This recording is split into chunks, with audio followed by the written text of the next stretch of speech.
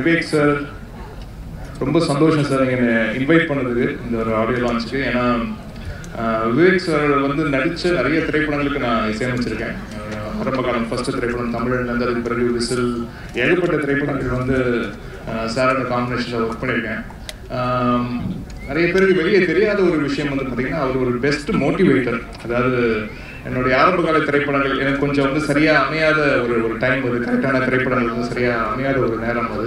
So அதுக்குள்ள எனக்குள்ளேயே நிறைய கேள்விகள் இருந்தது. இது வந்து இந்த இந்த துறையை நான் வந்து கண்டினியூ பண்ணலாமா? இல்லாட்டி என்ன பண்றது ஏது பண்றது? இல்லாட்டி மறுபடியும் ஒரு கீபோர்ட் ப்ரோக்ராமாக போய் என்னுடைய வேலையை வந்து அப்படியே தொடரலாமா? இல்லை எல்லாத்துக்கும் நான் ரெடியாக தான் இருந்தேன். எனக்கு வந்து என்னன்னா இசைக்கு இசைக்குள்ள நான் இருக்கணும். அவ்வளோதான் இசையமைப்பாளராக தான் இருக்கணும் அப்படின்ற கட்டாயம்லாம் கிடையாது. ஏன்னா இசையை நான் அவ்வளோ நேசிக்கிறேன். இசை இசைக்குள்ள எந்த ஒரு விஷயமா இருந்தாலும் ஓகே தான். அது இன்ன வரைக்கும் அதே ஒரு மனநிலையோட தான் இருக்கேன் நான் இசையோட இருக்கணும் அப்படின்னு. தான் ஸோ அதை எனக்கு அமைஞ்ச எல்லா விஷயங்களும் வந்து இறைவன் எனக்கு போட்ட பிச்சையாக தான் நினைக்கிறேன். பட் ஒரு சரியான நேரத்தில் ஒரு சரியான ஒரு மோட்டிவேட் பண்ணக்கூடிய ஒரு ஒரு மனிதர்கள் நிறைய பேர் இருந்திருக்காங்க என் வாழ்க்கையில். அது குறிப்பிட்டு சொல்லக்கூடிய ஒரு முக்கியமான நபராக வந்து விவேக் சார் வந்து நான் பார்க்குறேன். அது என்னுடைய ஃபோர்த் ஃபிலிம் நினைக்கிறேன். அந்த திரைப்படம் பேர் சொன்னப்போ நிறைய பேருக்கு தெரியுமா தெரியாது. தக்கதிரி தான் ஒரு திரைப்படம். அதில் வந்து சார் ஒர்க் பண்ணியிருந்தாரு. அந்த படத்தோடைய சாங்ஸ்லாம் வந்து நான் ரெக்கார்ட் பண்ணி நாகரெல்லாம் ட்ரான்ஸ்ஃபர் பண்ணி ஷூட்டிங்காக அனுப்பிச்சிருந்தோம். ஷூட்டிங்கில் வந்து சார் வந்து சாங் கேட்டு சாருக்கு வந்து ரொம்ப சாங் பிடிச்சி போய் அந்த படத்தோடைய இயக்குனர் சுந்தர் சி அவர்கள் அவர்கிட்ட வந்து பேசி எனக்கு இமானுடைய நம்பர் வாங்கிக்கோங்க அவர் நான் பேசணும்னு அவர் வந்து சொல்லி அப்புறம் சுந்தர் சி சார் வந்து எனக்கு கால் பண்ணி கொடுத்து விவேக் சார் உங்கள்கிட்ட பேசணும்னு சொல்கிறான்னு சொன்னார் அப்புறம் என்கிட்ட பேசினாரு. பேசும்போது அதில் ஆக்சுவலாக அப்போது ஷூட் பண்ண சாங் வந்து காதலை யாரடி முதலில் சொல்வது நீயா இல்லை நான் அப்படின்னு ஒரு பாடல்.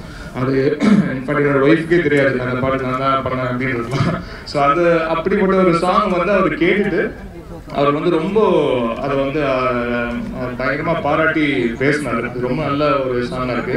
எல்லாமே கரெக்டா இருக்கு ஒரே விஷயம் தான் இறைவன் உங்களை பார்த்து சிரிக்கணும். அது வந்து நடந்துச்சுன்னா எல்லாமே பாசிட்டிவா நடக்கும் அப்படின்னு சொன்னாரு. எனக்கு ஒண்ணுமே புரியல.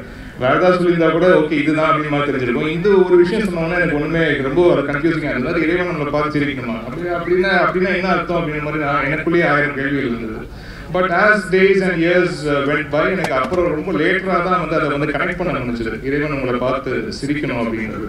அதனால உங்களுடைய ஒர்க்கு நீங்கள் வந்து எவ்வளோ எவ்வளோ தூரம் அதை நீங்கள் டெடிக்கேட்டடாக ஒர்க் பண்ணுறீங்க அது வந்து அது வந்து பார்த்தீங்கன்னா இறைவனுக்கு நீங்கள் ரொம்ப அருகாமையில் வந்து போய் இருக்கக்கூடிய ஒரு விஷயமா அதை நான் வந்து பார்க்குறேன் நான். ஸோ அப்படிதான் என்னுடைய வாழ் வாழ்க்கையில் வந்து நான் எவ்வளோ எவ்வளோ நான் நெருக்கமாக என்னுடைய வந்து தொழிலை நான் வந்து நேசிக்கிறேனோ அதுக்கு நான் வந்து இறைவனை பார்க்குறேன் ஸோ அப்படி தான் வந்து நான் என்னுடைய தொழிலை நான் வந்து பார்த்துட்டு இருக்கேன் ப்ளஸ் இறையருள் இது எல்லாமே சேர்ந்து தான் வந்து ஒன் பாயிண்ட் ஆஃப் டைமில் அது வந்து பர்ஸ் அவுட் ஆச்சு. ஸோ அப்புறம் எனக்கு வந்து ரீகலெக்ஷன் பண்ணி பார்க்கும்போது ஓகே விவேக் சார் அன்னைக்கு சொன்ன அந்த ஒரு வார்த்தை அது வந்து எனக்கு ரொம்ப மோட்டிவேட் பண்ணுச்சு.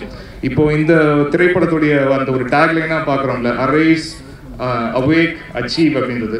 அதை வந்து யாரோ ஒருத்தர் அதை வந்து சொல்லி விடணும் அது வந்து ஏன்னா ஒரு மிகப்பெரிய ஒரு ஒரு மிகப்பெரிய பாவம் அப்படின்னு வந்து நான் என்னவா பார்க்குறேன்னா வாழ்க்கையில் பொதுவாகவே நான் என்ன ஒரு விஷயம் வந்து மேலோங்கி பார்க்குறேன்னா ஒருத்தருடைய நம்பிக்கையை வந்து குலைக்கிறது. அதுதான் வந்து மிகப்பெரிய பாவமாக நான் வந்து பார்க்குறேன். அது வந்து ஒருத்தரை நம்ம பிடிச்சி கீழே இழுக்கிறோன்றதை தாண்டி ஒருத்தர் நம்ம பெருசாக வந்து பாராட்டாமல் அவரை வந்து பாராட்டலாம் கூட பரவாயில்ல. அட்லீஸ்ட் அவர் வந்து ஊக்கப்படுத்தி விடணும் அப்படின்றது ரொம்ப ரொம்ப முக்கியமான விஷயம்.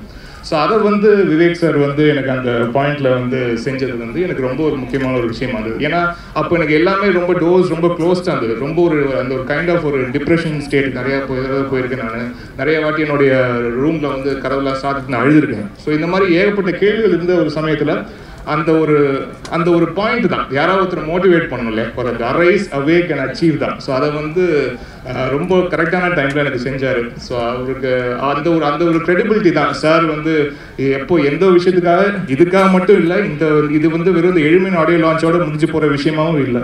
ஃப்யூச்சரில் நீங்கள் சார் நீங்கள் எந்த ஒரு விஷயமா இருந்தாலும் ஒரு கால் அடித்து வந்துடுங்க நீங்கள் எப்படி ஹிப்ஹாப் அதையே எப்படி நீங்கள் ட்ரீட் பண்ணுறீங்களோ அதே மாதிரி நீங்கள் என்னையும் ட்ரீட் பண்ணலாம். வரீங்களான்னு கேள்வி. என்ன என்ன வந்து வரீங்களான்னு கேள்விலாம் கேட்டாரு? மறுபடியுமா ஃப்ரீயா இருக்கீங்களா அப்படிலாம் கேட்டாரு. உங்களுக்கு இன்னும் உரிமை அடிக்கிறனால உங்கள்கிட்ட நீங்க வாங்க அப்படின்னு சொல்லிட்டாரு. ஸோ அந்த உரிமை நீங்க வந்து ஏமாலையும் எடுத்துக்கலாம் சார் விவேக் சார்.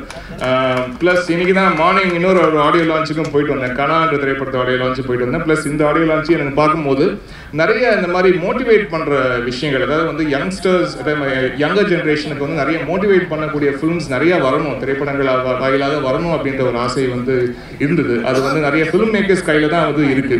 ஏன்னா ஒரு இருட்டு அறைக்குள்ளே எல்லாரையும் உட்கார வச்சு அதை வந்து என்ன வேணால் ஸ்டிமுலேட் பண்ணலாம் ஆன் ஸ்க்ரீன் அதை வந்து என்ன நம்ம விதைக்கிறோமோ அதுதான் ஆடியன்ஸோட மனசுலையும் வந்து அது வந்து டிரான்ஸ்ஃபார்ம் ஆகும். அது நல்லதும் விதைக்கலாம் கெட்டதும் விதைக்கலாம். ஸோ இந்த மாதிரி நல்ல நல்ல விஷயங்களை வந்து விதைக்கணும். அதுக்குண்டான திரைப்படங்கள் நிறைய வரணும்.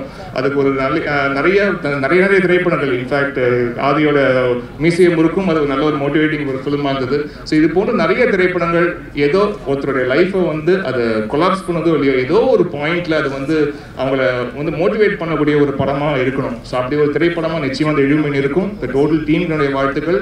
குறிப்பாக இந்த திரைப்படத்துடைய இசையமைப்பாளருக்கு என்னுடைய வாழ்த்துக்கள் தெரிவிச்சுக்கிறேன். சாங்ஸ் கேட்டால் ரொம்ப சூப்பராக இருந்தது. என்னுடைய ஹார்ட்டி விஷஸ் அந்த ரெண்டு மல்லி நான் கொஞ்சம் பேசிக்கலாக ஒரு மெல்லிசை ரசிகன் தான் நான். அது என்னுடைய பாடல்களே கொஞ்சம் அதிகம் தென்படும் ஸோ அதனால் இதில் குறிப்பாக அந்த மெல்லிசை பாடல்கள் எனக்கு ரொம்ப பிடிச்சது. என்னுடைய ஹார்ட்டி விஷஸ் காட் பிளஸ்